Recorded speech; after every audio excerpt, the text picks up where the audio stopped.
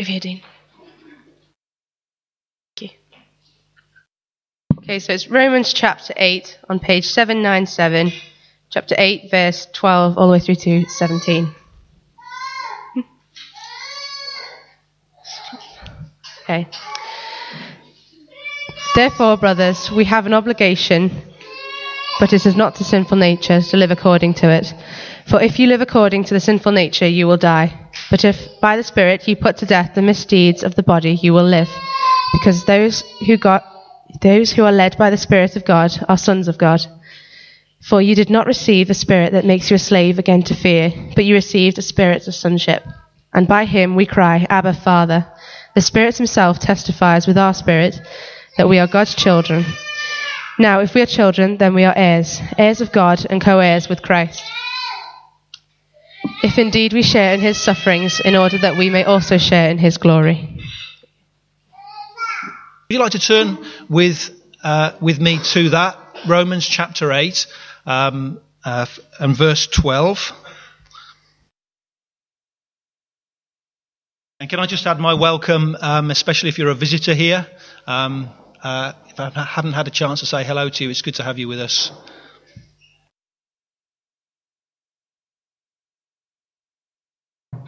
We've been working through this book of Romans on Sunday mornings, um, and we do need God's help uh, uh, as we do that. So please join me as we pray now. Heavenly Father, we, we, we might want you to bless uh, success for us in all sorts of different areas, but we too, Father, want to pray this morning that we might know you, um, that you might help us to see you, and uh, Father, we pray for your help in that now as we turn to your word. Help me uh, in speaking, help us all as listeners. We pray um, that you might change us, that we might live for you. For we ask this in Jesus' name. Amen. Amen. So, Romans chapter 8, and, and, reading from verse 12, which is where we've got to. Um, I mentioned uh, in the last couple of weeks about how I became a Christian at the age of 30.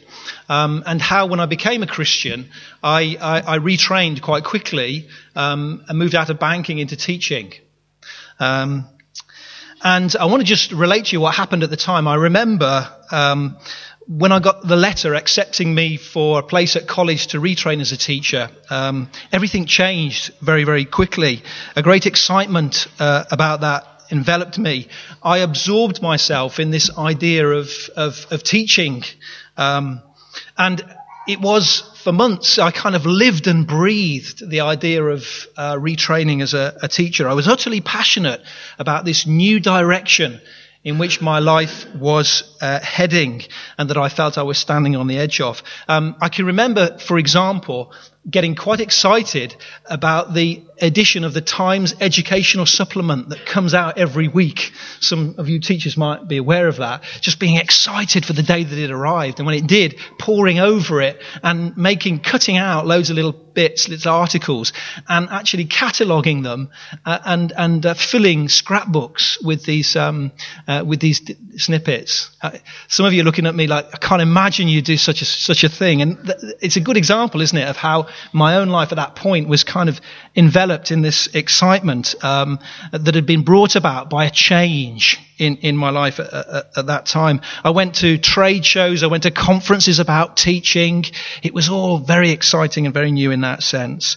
Um, maybe you know somebody who's uh, whose character, uh, behavior, and outlook has changed like that uh, when something came into their life, when something changed. Um, maybe it happens sometimes when we get a new job. Maybe it's when we start a new relationship with somebody. Uh, maybe it can come with a new house, a large possession like that. We get a sense of excitement uh, that comes with that. Um, well, the whole Bible, and this book of Romans in particular, is an invitation into the ultimate project, um, the ultimate extreme makeover for your life and my life. God's grand design. I've used two TV references there. Did you, did you get them? God's grand design. And what is that? What is God's big purpose that we really want to see and worship Him for this morning? Well, it's this a world without sin. a world without sin. Now, I appreciate I've just said the S word, so I do think it's necessary for me to clarify that. What, what, what am I saying? Sin is not so much the things we do as what we are. It's our nature.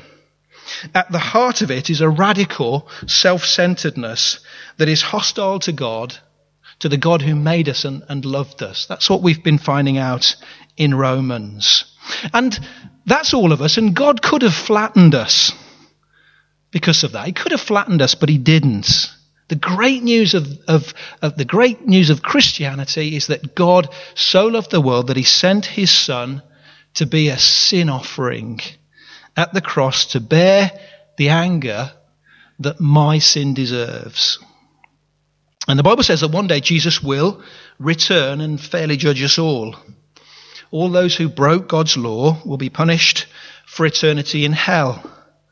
But those who believed in Jesus and had their sins forgiven will live with him forever in a new world, what we tend to think of or call heaven, but the Bible calls the new heavens and the new earth, where everything will be perfect. A world without sin. I'm going to say something controversial now. Not everyone is going to agree with me, I think. Speke is not heaven. I know it feels like it sometimes. I'm not going to be able to carry that for very long, am I? No, I, I, I can't carry that for very long. Um, we probably all agree, don't we, uh, that we are not living in that place at the moment. We know that, don't we? But how often do we actually stop and consider that sin is the cause of everything that is wrong in the world that we're living in now? Everything that is wrong on our estate. Every broken home. Every single mum and child. Eh, sorry, every single, every single child without a mum or a dad. Every diagnosis of cancer every tear of a little boy or a little girl, every argument, every disappointment. It's all caused by sin. And you know, we ought to really hate sin, hadn't we, when we think about that? And we ought to really worship the God whose grand design is to get rid of it. The good news is that we don't sit and wait for that perfect world to come. The good news is that when, any, when, when God makes any man or woman, boy or girl a Christian, he catches them up to participate in his sin crushing grand design right here and right now. And that puts life's little projects like the one I started with into some perspective, doesn't it? When we think about that grand plan, God's grand design, which is to get rid of sin that horrible sin that we just thought about. Not just then, not just then in the future, but right here and right now. And this paragraph here in Romans is going to show us how that happens. How that happens.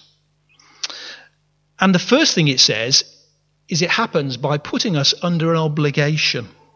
So, will you have a look at verse 12 with me? Let me read it and we'll see what it means by putting us under an obligation. Verse 12 Therefore, brothers, we have an obligation, but it is not to the sinful nature to live according to it.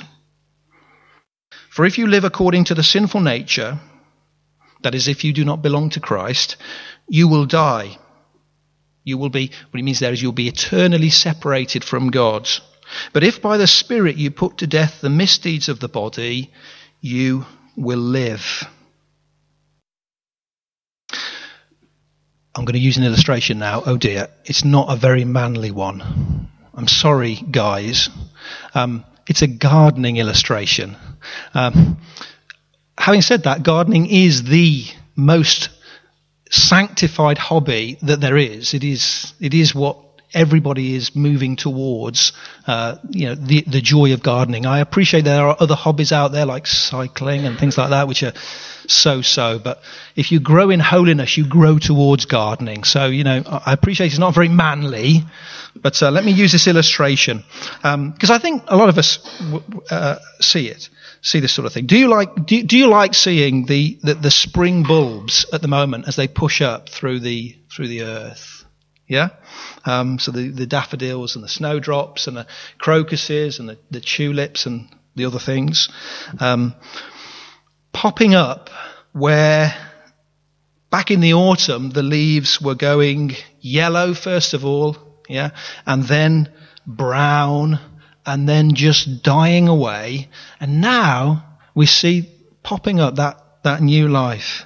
Um, I wonder, a lot of people enjoy that. They love to see the bulbs coming up. What is it inside of us that makes us kind of drawn to that, to to to enjoy that? Whether whether we would say gardening is a hobby or not, um, what is it that makes that so appealing? That uh, revitalization that we see? Well, perhaps because it's one of the closest images, illustrations God has given us to the revitalization that we, we were made for. You see, in the few sentences before this one that we've just broken into, in, in, in number 12, Paul has described the true status for someone belonging to Christ. And he said, although their body is getting old, and dying like anyone else, because that happens to Christians, their new life in Christ is welling up inside of them at the same time more and more. They're dying. Their new life in Christ is welling up inside of them more and more. You see it in the faces and in the behaviors of some older Christians, don't you? Um, that, that, that joy and that life, even though they face the same trials and the troubles as everyone else. Um, and not only that, Paul has said, but the, the indwelling spirit guarantees that their body will one day be, be made new and resurrected. It's a very beautiful uh, description of the status uh, of a Christian in the present. And it's because of that, Paul says, immediately he says, therefore, because of that, because of that picture, that I've given you there, the gardening illustration, because of that picture of, of life that Paul has described of a Christian status, because that is true, he says we have an obligation to align ourselves with that which, which has brought that about. A life according to the Spirit. We don't owe our sinful nature anything because that nature is just heading for death. That nature hasn't given us any benefit for which we ought to thank it or respond by serving its desires. Um, and just before we move on, I want you to notice how God comes gently to accomplish his grand plan. He puts us under obligation. Do you notice that? Therefore, brothers, we have an obligation. Do you know, if I was God, I'd put it beyond doubt, wouldn't you? It'd be like I'd want to grab the controls and say, this is what we're going to do, all right? This is how we're going to do it. And take control. God doesn't do that. What does he say? Therefore, brothers, we, you, we have an obligation. And we sometimes sing that song. You know it? Wonderful Grace. Wonderful Grace. And we sing, that gives me the time to change. God was so patient. We've, we've sung this morning about his, God is um, gracious and compassionate, slow to anger. God was patient with me, and he continues to be patient with me in my Christian life. But let's, let's just return to God's grand design and our, our part in that right here and right now. Because it says in verse 13, 13 and 14, have a look at it with me. If by the Spirit you put to death the misdeeds of the body, you will live. Because those who are led by the Spirit of God are sons of God. We need to understand uh, here this morning what does it mean by putting to death the misdeeds of the body? What does it mean to be led by the Spirit? Joe, could you, if you've got that slide, could you just put that up for a moment? Because I think it's quite helpful to look at that verse 13 and 14 in this way. Because I want to draw out some important things. Um, First of all, Paul says that those who belong to Christ are indwelt, are, are, are indwelt by the Spirit of God, Spirit of Christ, and they will live because they are sons of God. That, that's, at, that's at the top there. Can you see? If by the Spirit of if by the Spirit you put to death the misdeeds of the body, you will live because those who are led by the Spirit of God are sons of God. Those who are indwelt by the Spirit will live because they are sons of God. Okay? And also in that verse, Paul is drawing a parallel between putting to death the misdeeds of the body and those who are led by the Spirit. If by the Spirit you put to death the misdeeds of the body, you will live, because those who are led by the Spirit of God are sons of God. Do you see? Do you see? We could almost put an equal between the, the two bits of green. If by the Spirit of God you put to death the misdeeds of the body, equals those who are led by the Spirit of God. Or we might say the result of being led by the Spirit of God is the putting to death of the misdeeds of the body. Now that, that might sound like a moot, that's a very important point. That's a very important point because there's a lot of guff and a lot of kind of um, snobbery that surrounds the idea of being led by the Spirit. Have you heard that phrase before, being led by the Spirit? And there's lots of guff and snobbery about it. Do you know, the last time someone said to me, quite seriously, the Spirit of God told me to do this, well, the circumstances were these. I was reflecting on it. These were the circumstances. Number one, they told me they'd heard a voice in their head. Okay?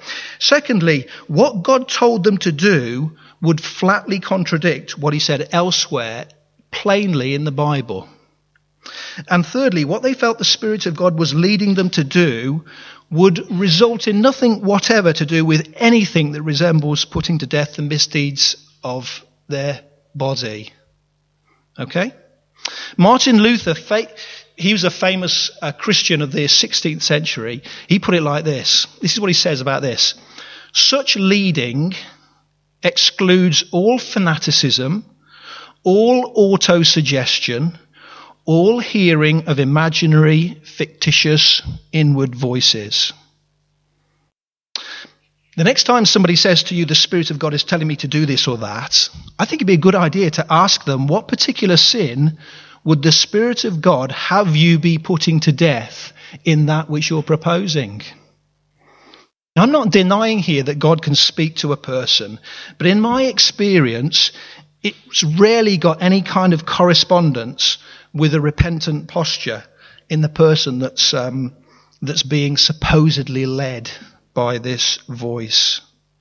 I mean, when I hear voices in my head, they're normally leading me in the very opposite direction to conformity to, to, to, to, to, to holiness, if you like. So it's really important when we, because we hear that expression an awful lot, being led by the Spirit. And we can see in the, in the way that Paul is, is, is, is showing us in those verses that it is, it, is, it is to do with putting to death the misdeeds of the body. So, how does the Spirit of God, if it's leading in that way, how does it do that in a Christian? Well, it's where we finish this morning. It's in verses 15 and 16. And we're going to look at those verses, and I'm going to give you an example because I think that might be the best way of doing that. So, would you like to just have a look at verses 15 and 16? And we'll read them in a moment.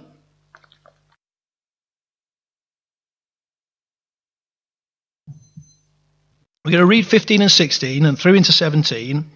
And these are the things I want you to listen out for. Um, the way in which the Spirit of God leads a Christian in the putting to death of the misdeeds of the body. These are the things to listen out for. The, the, the, the indwelling Spirit of God makes me decisively and radically aware of, of the death which my old way was, was, was heading in. Okay, the secondly, the indwelling Spirit of God makes me aware that I am God's Son and that He is my Father. The third thing the indwelling Spirit of God does is make me aware of my, my royal inheritance. And the fourth thing it does is to impress on me the privilege of sharing in in Jesus' own suffering. Let's read those verses. Verse 15. For you did not receive a spirit that makes you a slave again to fear, but you received the spirit of sonship, and by him we cry, Abba, Father. The Spirit testifies with our spirit that we are God's children. Now, if we are children, then we are heirs, heirs of God and co heirs with Christ. If indeed we share in his sufferings, in order that we may also share in his glory. Now, I'm going to try and, and, and, and, and land this this morning with, with an illustration with how I think verses 12 to 17 all works to the glory of God and his grand design and plan to be rid of sin, not just then, but now. Okay, with an illustration. Okay, and I want to use the example of of because uh, there are all sorts of ones I could have chosen, but I want to use the example of sexual sin. Sexual sin, which could take all sorts of different forms uh, among us this morning. We could be talking about pornography. We could be talking about lust. We could be talking about same sex attraction. We could be talking about sex outside of marriage, um, other forms of marital unfaithfulness, any of those kinds of things. Okay? Um, now, I've chosen this particular one as an illustration because I think, first of all, it helps us to iron out the kind of problems that come when we hear about the misdeeds of the body. Because that's sometimes automatically what we think of, sexual sins, where we think of, of that. But I think we, it'd be good for us to iron out what, what, what we mean there. And secondly, because it's an area that I continue to struggle in, and I reckon 99% of people here do presently, one day will, or have in the past struggled. It's a very human uh, matter, an issue. It's an example. If it's not your thing, try it with the sin that you're struggling with at the moment. There's something that presses in on you that you're aware of more. Use the example as I work through it to think about that. Okay?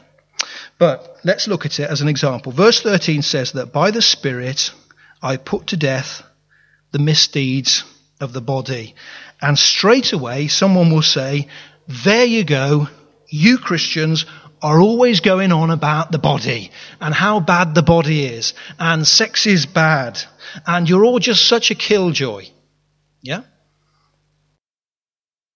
Well, Paul wants you, if you belong to Christ this morning, to picture at the point of temptation, put that to, to one side. He wants you to picture a struggle going on between the new control tower and the old control tower, the picture that we were using yesterday. The new, the new you inside, if you've been made a Christian by the Spirit, and the old control tower, the sinful nature, going on at the deepest level inside. And in the case of, of sex, the new control tower says that there are some things that God says about sex and about relationships that are right. There are, these, there are things that are right and there are things that are wrong. And it's not my pl- place, and I haven't got time this morning to show you where and why those things, but they would include, in the area of sex, for example, um, sex only in heterosexual marriage um, and marriage for life. They would include no adultery. They would include no pornography, etc. Okay? So that's the new control tower telling us those things. The old control tower, of course, says giddy up to those things and a whole host of other stuff. So to put to death the misdeeds of the body isn't to say desire for sexual intimacy is wrong, because it isn't. God made us and He made our sexual appetites. It's not about resenting and re- rejecting the fact that we've got natural bodies and natural bodily appetites. And it's not a mental exercise to try to find enjoyment in resenting and rejecting those bodies and the appetites that God's given us. It's not those things people, often people think of when they hear Christians talk about putting to death the misdeeds of the body. It is this. It is to say, I know as a believer, I know something is evil in God's sight. And so I'm going to take decisive and radical action against it. I'm going to, as it were, to use the, the languages Paul is using here, I'm going to put it to death. And in the case of sexual temptation, um, in my life, it ha- that has meant at various times in my life these kinds of things. That that uh, that putting to death, that radical and decisive action in my own life has meant some of these things at different times. It has meant binning the porn. It has meant reading a thoughtful book that a Christian has written about, about that struggle, about these kinds of struggles too. It has meant installing software on my computer to help in that sort of thing. And I know lots of you will say, I know the force of temptation when it comes. Uh, sex is a good example because we feel the force of temptation when it comes to, to that very deeply, very often. And I want to say to you this morning, I know the force of that temptation myself, and I know that on my own it's absolutely impossible for me to do anything about that. I might like to build rules around my life, but it's just impossible for me to do it on my own. But I'm not on my own, this passage says. The Spirit of God leads me and helps me in that. So how? How does the Spirit lead me in, in those things? Well, firstly, Remember what we were saying before. God, by His Spirit, makes me aware of the death to which my old life was headed. God says to me that this sexual sin, it's like this, it goes something like this. This sexual sin, this, this evil, Anthony, this is evil. Once you were a slave to that sin and it made you cower in God's presence and live in fear, always afraid of facing God inevitably, and finding that all your fears, the, your worst fears and your worst worries were right. It, it, it was wrong, and God was right to be angry with it. So I lived in fear. So the, so the Spirit of God comes and it reminds me of that. Reminds me. and tells me you don't want to go back there. But secondly, it says the Spirit of God makes me aware that I'm a son of God and that He is my Father. If you belong to Christ, let me tell you, at some point in that temptation, a thought will be introduced into you. A thought that says, You're mine. You're mine. I have adopted you. And we all know that adopted children are they're extra special because adopted children have been chosen by their parents, haven't they? Christian, do you know do you ever pause to, do we, do we pause and remember that even before God created the very first thing, he said, I want you.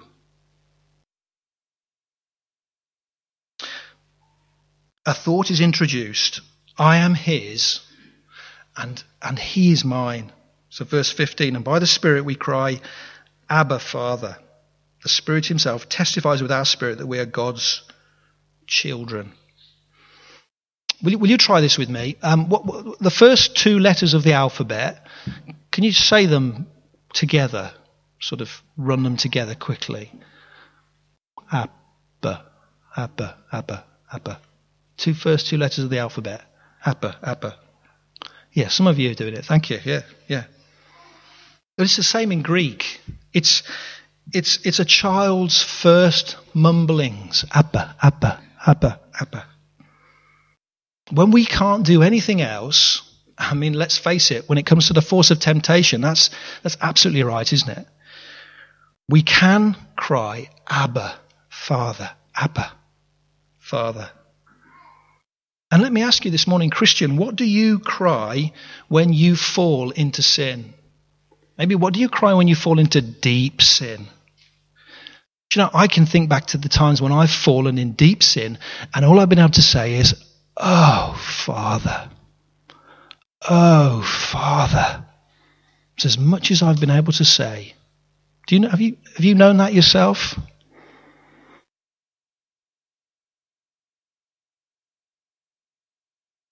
But it's at that point that I'm ready to be able to put to death the misdeeds of the body. The Spirit has reminded me at that point, you're, you're my son, and I'm yours. Or, or how about this? What do we cry at the deepest moment of sadness? You experienced like real deep moments of sadness.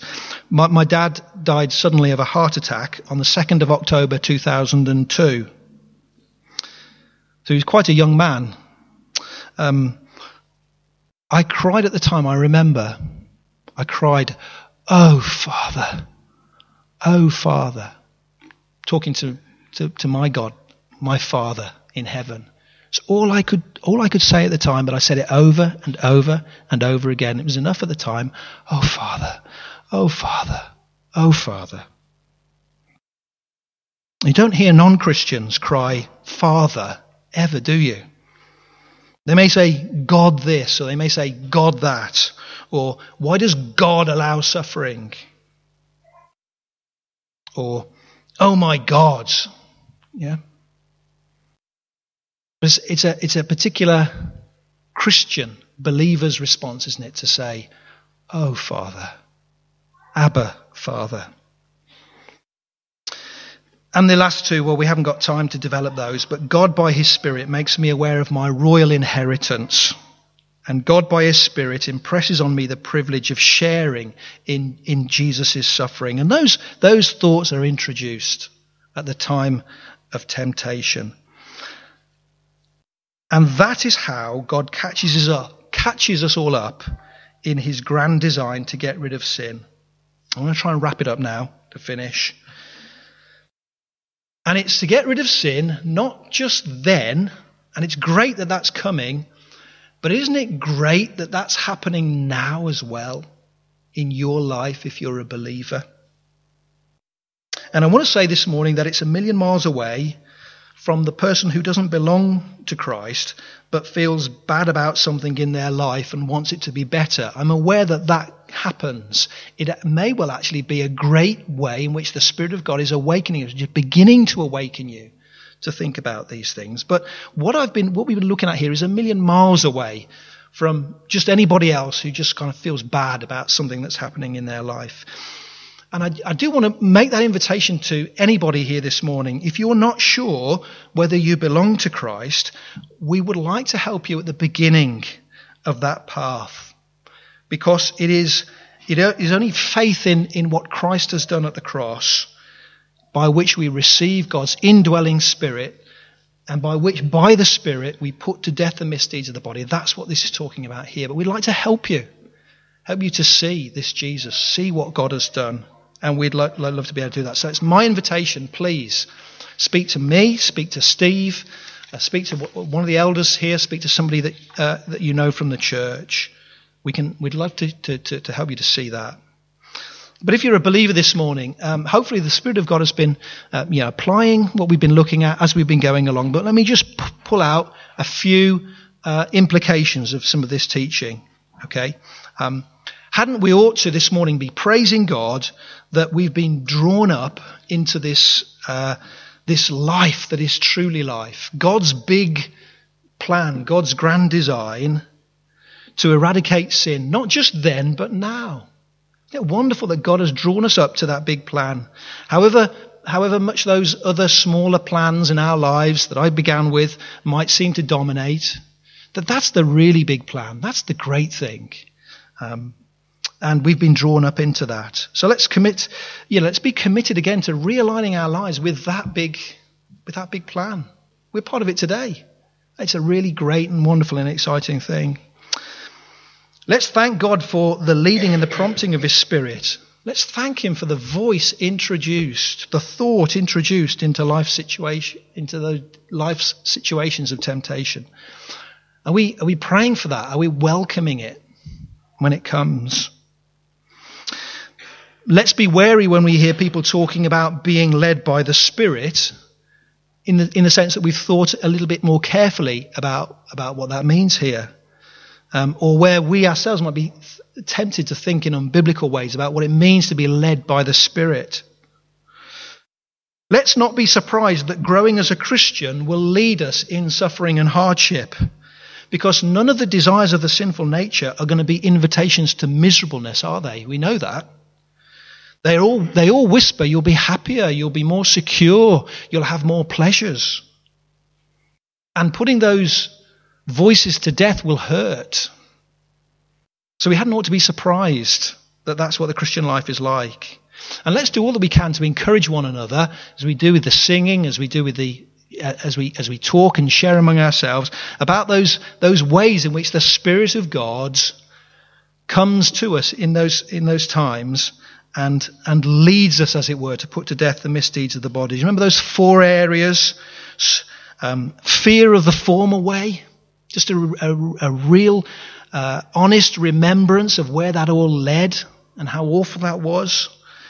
That uh, sonship, the reminder of your sonship, of your royal inheritance, which we haven't had time to look at, and the suffering now, glory then, the pattern of Christ. Let's, let's just be talking about those things. Let's be singing about them. Let's be rejoicing in them. Let's be reminding one another of them.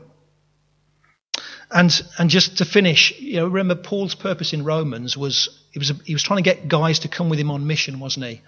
And he and he knew that, and he was also trying to get people in the church to be be more united together.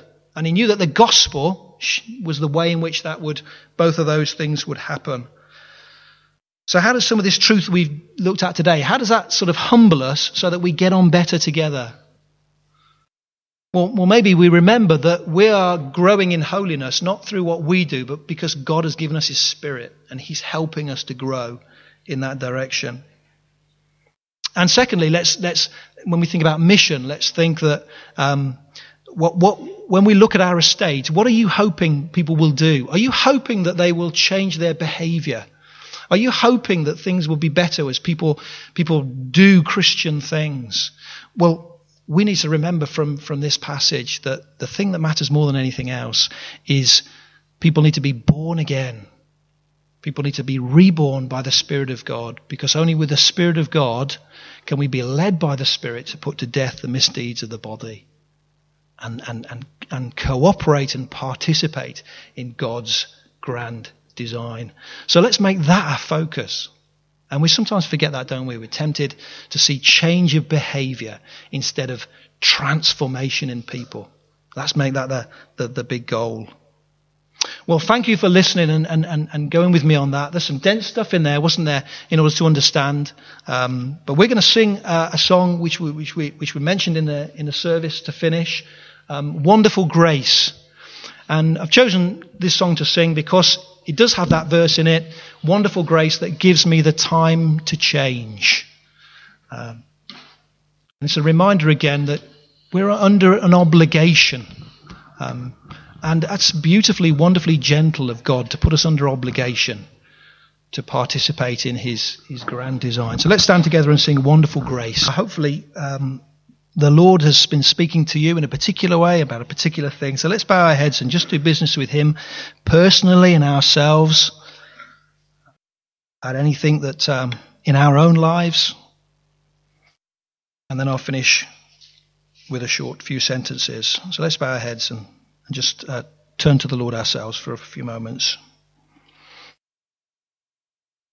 Heavenly Father, will the, the gentle way in which you come to us and dwell in us and put us under obligation to, to live in the direction of life. We thank you, Father, for that life that Paul has described. And Father, we pray that you would help us to align our lives with the Spirit of God.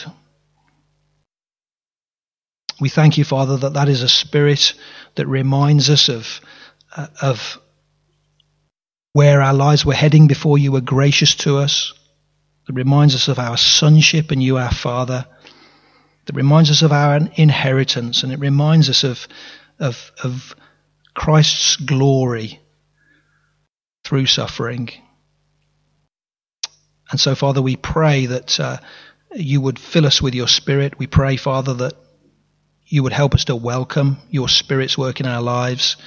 And we pray, Father, that we would rejoice as those who have been indwelt by your Spirit and who are helped and caught up in your big plan to see sin, the vileness of sin, put away, not just then, but now, in the, in the here and now. So thank you, Father, for, for, for catching us up in all of that. And we pray, Father, that you would uh, help us to think on those things this week. In Jesus' name, amen.